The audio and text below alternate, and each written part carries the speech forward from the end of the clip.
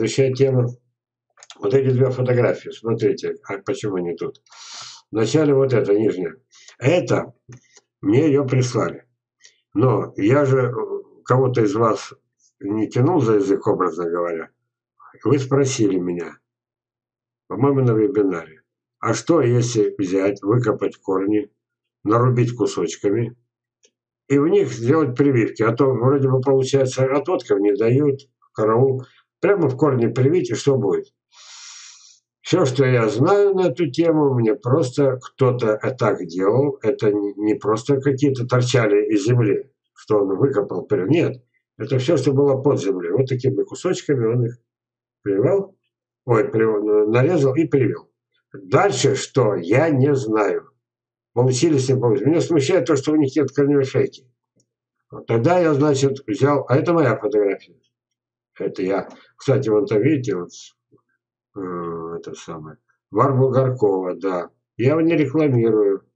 Просто он так называется. Он хорош при низких температурах и можно при нуле, вот, маленьком минусе, им еще можно заклеивать раны.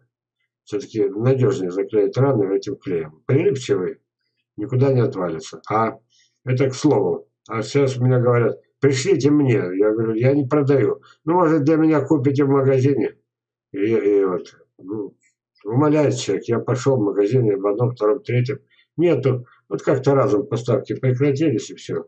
А обычно он как камень при минусовой температуре. И я э, теперь занимаюсь в тепле торцы парафином расплавленным, а на даче очень густой масляной краской.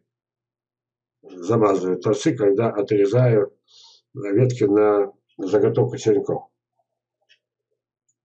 Вот. А здесь конкретно, это я отвлекся на садовый вар, а здесь вы видите обычно нормально, это и есть уссурийская груша.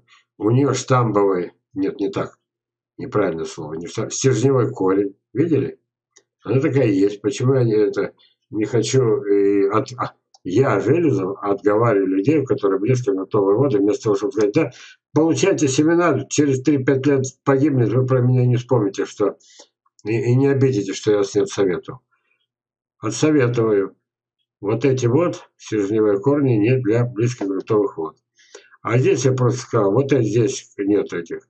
Потом приживется и очень быстро сгниет, потому что нет корневой шейки. А у меня есть корневая шейка, в этой груше есть корневая шейка. Вот это принципиальная разница. Причем, может быть, у кого-то есть положительный опыт. Но, еще раз, э, сырость терпит яблони, сливы, вишни.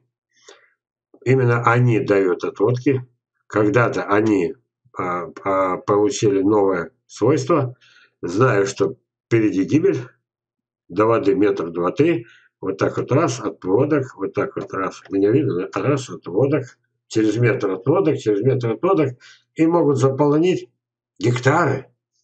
Вот. Ну, а за то, что они дают отводки, их люто ненавидят, я про это уже рассказывал.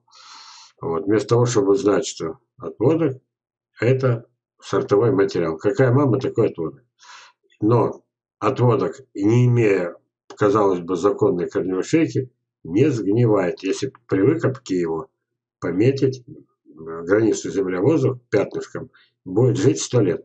А вот сами корни, если взять, выкопать корень абрикоса и корень груши, вот этих вот стержневых, вот тут я не уверен, что они долго продержатся потому что им надо все-таки вылезти на волю. Как бы корешок отрезали, сделали, посадили вертикально, привили, не имея... Мне кажется, у них будет короткий век. Они сырость не любят. Ни абрикос, ни груша. Я так и делю. Я единственный на планете, кто делит не абрикос, э, яблоню, допустим, или что что-то, а именно абрикос слива. Это когда-то было одно общее дерево, расползлось. Одно двигалась и закреплялась в сырых местах слива, а абрикос, ну, естественно, видоизменялись и так далее. Это моя любимая тема, потому что я никогда ничего не читаю, я все сам придумываю. Вот. Вот это дерево, это мой рекордсмен. Этому дереву 5 месяцев. Рядом справа, видите, на однолетней отводке я прививал, и это где-то август. к этому времени они уже, вот забор, да, забор, то есть они уже выше моего роста, уже. Почему они тонкие и длинные? Потому что им тесно. Тесно, им нет солнца, не лезут вверх. Ну а куда деваться? Даже в Сибири земли нет. Миллионы гектаров заросли лесом и продолжают зарастать. Нет для, для особого сада. А здесь вот такой же, только я привал здесь в расщеп и привал, э, по, по две, вставлял по две по эти веточки, да. Причем э, тут была, он как, первый год он пошел вот так, смотрите. Туда я привел персик, абрикос, сливу. И вот иногда бывают такие чудеса. А что такое чудо? Значит, запоминайте всегда, вот здесь однолетки, они такие худенькие выросли, они были бы мощнее, если бы им солнца хватало. Тянутся как чуть-чуть киловаттики. А здесь место побольше, воздуха больше, солнца больше. Что получилось? Вот. Видите персик, он туда, за горизонт. Он, он, это высота больше двух с половиной метров. Раз. Значит, видите сливу. Вот. И, вот, и видите абрикос. Так. Все у меня прекрасно получилось. Теперь. Возле этого дерева стояли три суперспециалиста. Вот. Один из них это э, писатель-садовод с первым именем. Второй это заведующий лабораторией кандидат наук. И третье это директор ГСУ, кандидат наук. Вот. Один дал три года, второй дал четыре, третий пять. Фамилию не называю, хотя, по они бы не обиделись. Мы друзья со всеми тремя. Вот. И все-таки, почему они давали три? Они стояли, они шептали, они считали скелетные ветки. Да, вот раз первый год, второй, третий. Вот. А это особое дерево. Объясняю. Это не просто вот взять, похвастаться. Нет. Смотрите. Вот это пальцы. Посмотрите на свои. Вот такие ветки, когда прививаешь, вот сейчас, вот, вот такие вот. И если вам удастся сделать вот тут вот косой срез, мощный, абсолютно ровный, сделанный одним движением, обмотать моей, видите, я какой хитрый, э, моей этой самой пленкой, потому что я всегда обматываю, а попробуйте два таких среда сделать абсолютно идеальных. Приходится их друг другу вот, а, на грани порыва ленточки. А ленточка крепкая. А когда вот такие вот, я вообще две ленточки вместе беру и начинаю. Вот. И тогда случается чудо. То есть, если вы взяли вот такую, привили такую, да, вот так. Нет, ну тогда получается вот так, для, понят, для понятности, вот так, да. Вот. Получается вот такой вот, как вот э, справа на этом, на фотографии. Но если я беру вот такие вот, а почему этого никто не знает и не использует? Несколько человек, моих учеников, Константинович, пришлите вот такие. Я говорю, с ума сошли, вы что, это самое, хотите это, почек побольше взять? Окулировкой? Почкой? Нет. А мы, мы это, а они научились делать мощно еще мощнее моих. И они уже знают, начал-то я учебу 20 лет назад, а этой фотографии уже лет 15, понимаете? Вот. И уже тогда ясно было, это мне, а сейчас и вам, что если все-таки почки взяты вот с такой ветки, да, получится среднего размера. Но хотите иметь гиганта, вот как некоторые мои, пожалуйста, научитесь вот такими вот толстыми, вот такие жирные. И тогда почки на них соответствующие будут. У, два, два с половиной. А я вам показывал такие. Э, вот. Ну, не самые крутые, ну, два-два с половиной метра я вам показывал эти самые саженцы. Вспоминайте последние вебинары. Я надеюсь, пусть долго, нудно, убедительно говорю. Почему в такой манере? один из сотни всегда меня по морде. Константинович, почему вы не читаете обыкновенную лекцию? Вот я сейчас бы взял фотографии и начал бы учить вот так вот делать. Вот. В середине половина бы уснула. А когда я вот так, знаете, как э, с этими, с эмоциями, мне от 99 довольны.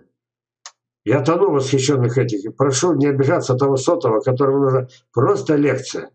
Причем уже было бы не 162 вебинара, ну максимум 10 было бы, 15. Они бы прошли уже в 2018 году, бы начали, закончились. И сейчас были бы давно забыты. А так мы ля ля ля ля ля ля Вы поняли теперь, как это? И почему теперь вот с этими секретами? Двухлетний подвой. Как его не любят? В него-то знаете, как трудно. А я в него две почки. А если удается, удается, то я вот так вот делаю. Улучшенной капулировкой. Вот даже вот такие. Вот такое вот чудо вырастает. А потом, а потом, ладно, прекрасно, не обидится на меня Галина Николаевна Байкова, которая сказала, что этому дереву 4 года. Я ей все рассказываю. Я про то, что нужно еще не все. Нужна биологическая совместимость. А здесь, ну как, черт возьми, дичок этот самый. Я все эти, те годы, это я сейчас сыновей беру. Э, эти, э, подвое делаю, сыновей. Сергей берет, э, нет, он берет с этого, с, с маточного дерева. Но тогда только с маточного. А это же дика, а, а, а, где он тут делся?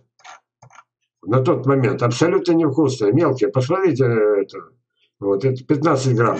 И вот, и вот, она меня слушала, слушала, мне пришлось сказать, что на 100% биологическая совместимость только тогда вырастает под 3 метра. Я не приличил по 3 метра. Вот он забор, смотрите. Он мне по грудь. Прибавляйте еще раз по грудь еще раз. Вот. Поверили? И вот именно, и вот ее слова, Валерий Костинович, она была как-то уж много в жизни повидал, но такого не видел никогда. Я целую лекцию им читал. Целую лекцию. Ходили по саду. Они меня слушали, потом... Э, Валерий Костинович, вы почему не печатаетесь в научных журналах?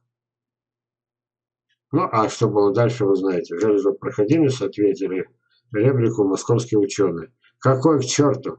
Она тут по наивности... Она книгу напечатала. Она мне дарственную книгу подарила с дарственной надписью про груши. Вот. А, вот она один из... А, как я люблю своих земляков. Как я люблю. Вот это ее груша, сварок она из трех авторов. И вот то, что она живой классик, что тысячи саженцев стали роскошными плодовыми деревьями в районе Саяногорска, вот, для меня это выдающийся человек. Понятно? Вот. И никогда ничего под себя не гребу. не хвастливость, а констатация факта. Слава вегетативной глобализации. Вот. И наслоение ментора. Вегетативной глобализации. Мичурин. Вот. Ой, где же книга-то? Дальше видел. Ладно, я потом фотографии книги покажу. Есть чему учиться, а, Тимирязевки?